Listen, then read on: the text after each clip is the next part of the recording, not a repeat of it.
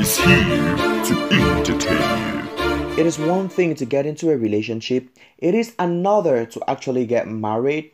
It is very easy after getting married to have problems and becomes very difficult to solve these problems without it dashing out to the public eye and having public opinions, especially when you are a media personality or a top celebrity. In today's video, Vusi Thembekwayo may have to pay his wife Palesa Maketa 110,000 rands per month for maintenance after she filed for divorce already because of all the bad things that he did to her we are about to give you all some detailed information and very sensitive one as at that. So do well to watch this video because things are going so south for Vusi right now and he's about to even go so bankrupt. Will he be able to actually maintain the standard? Do well to watch the video to get all the information. Before I give you the information properly welcome to this channel. Kindly subscribe to this youtube channel like this video drop a comment after watching the entire video and hit on to my post notification bell Vusi Thembekwayo's wife Palesa Maketa has filed for divorce. It is clear that the news just keeps on coming in South Africa and our celebrities will never surprise us in what they can really do. It is very concerning for the general public to even find out that there is such a situation that Vusi Thembekwayo and his wife are going through and many people are seriously concerned about something like this even exists.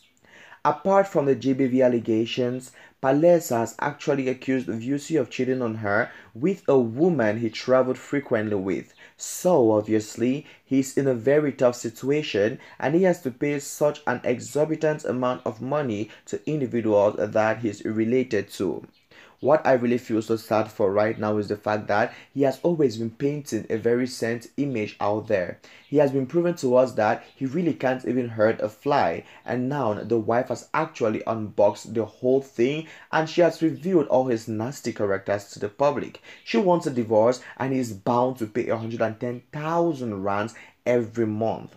We understand that perhaps it will actually be very easy for him to pay this money because if his uh, family members come in of course he will actually be able to do so. But it is going to be so difficult because the amount is so large if he's supposed to take this on his own and he might as well even go bankrupt and face a lot of tough times if and only if assistance is not given to him it is alleged that you don't necessarily have to be a woman to benefit from this rule. You just have to be married and earning a lot less than your spouse to such an extent where you will be liable for payment for your upkeep.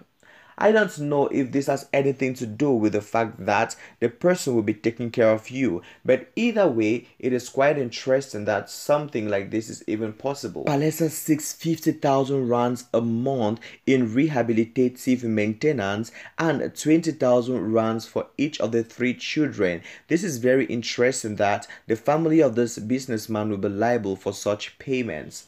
They are going to find themselves in a situation where they are getting this money per month and this could also be forever, meaning that the husband is paying the sum of money until perhaps the court decide otherwise, but there are chances that will never happen. I personally feel so sad for him right now. And that's why I always tell people that do not always judge other people. Do not see the kind of things that people live, they show on social media, and you think that they are the most perfect people. You can be a very nice person, but the one time that your nasty character is being exposed to the public, you become the worst person on earth in the eyes of the public.